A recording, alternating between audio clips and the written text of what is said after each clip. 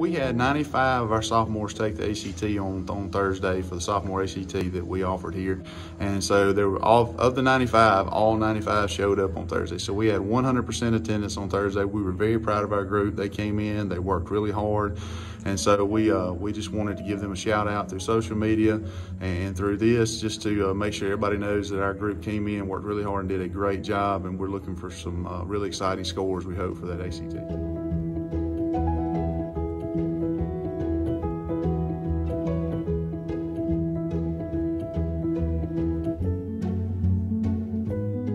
That 100% attendance so important?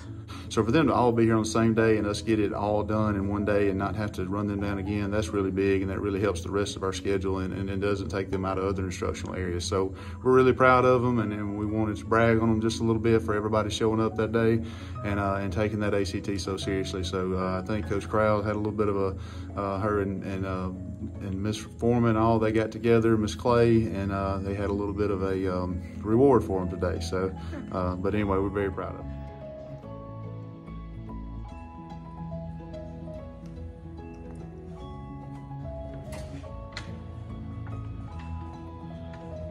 This this area, we use this to recognition for our ACT and our students who have excelled there. So these are our seniors.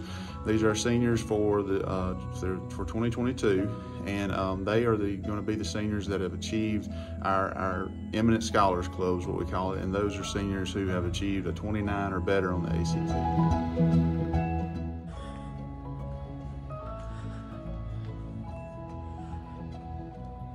So each year we have these banners made for them. We post them here or hang them here in the uh, A Hall on this cross hall for everyone to see, to be recognized. And then at the end of the year, these will go with them and it'll be something that they can keep forever.